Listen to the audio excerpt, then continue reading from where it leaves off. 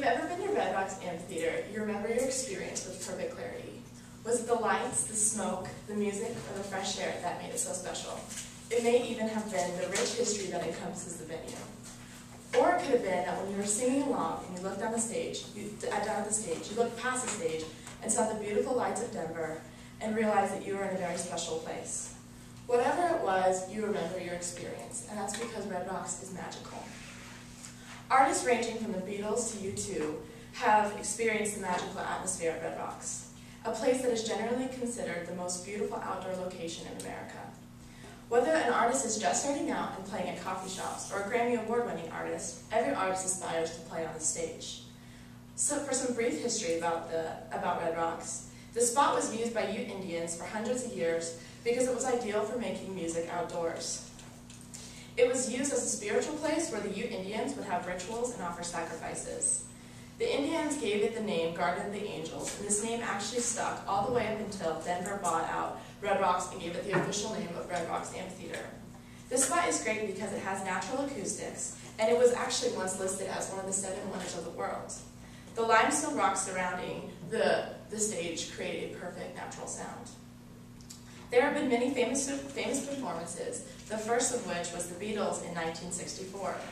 Despite the unsold tickets, the Beatles still set a box office record for Red Rocks. It was the first rock and roll performance, and this shows actually the reason why, why, um, why oxygen canisters were put around the stage, because when they were dancing around and singing, they realized that they were out of breath because of altitude, and so while they were performing, people were putting oxygen canisters the stage, and those are still there today.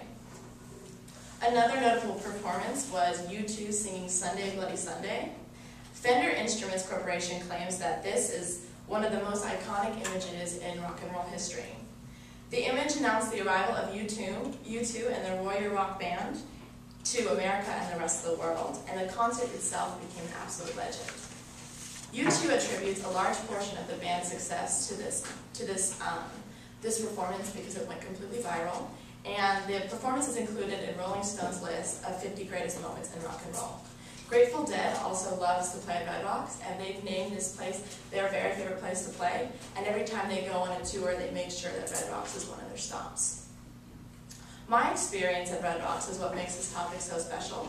Uh, the first time I went, it was Mumford & Sons, and it's actually kind of cool because this was the performance that they're making a documentary about. And so the first U.S. tour that they went on, they played at all the traditional concert locations, and they realized that this just, it wasn't fulfilling what they were thinking was gonna, what it was gonna be like. And so the next tour, they decided to play at places like Red Rocks, so unique, like outdoor locations that, um, and their final destination was Red Rocks. And so the whole documentary leads up to their performance, and it was just absolutely amazing. And my second was, my second time going, was Imagine Dragons. And my favorite moment was when the lead singer he, they shined the light on the crowd so he could see all the people. And he, he just turned immediately around and looked at his band and he started crying because this was one of their dreams um, to play Red Rocks. And so he was just explaining to the crowd, he said, this is our dream, like we wanted to do this for so long and I can't believe it's actually happening. And that's when I realized that there is something really different about Red Rocks than say like Pepsi Center or one of the traditional concert locations. Uh, one of my favorite quotes eh, about Red Rocks is by Ringo Starr, quoted in U.S. Travel, and he said, a show at Red Rocks Amphitheater is worth any journey to get there. The world's best musician has gra have graced this historic venue. If you are not in Colorado, fly or drive to catch what will likely be the performance of a lifetime. In conclusion, Red Rocks has become famous for its perfect acoustics, 300 million year old natural setting, and stellar musical performances. It has hosted every genre, from hard rock to rap to reggae. If you have not had the chance to experience the magic, I urge you that it is 100% worth the drive and money. If your experience is anything like mine, you will never forget the nights you spent at Red Rocks Amphitheater. Thank you.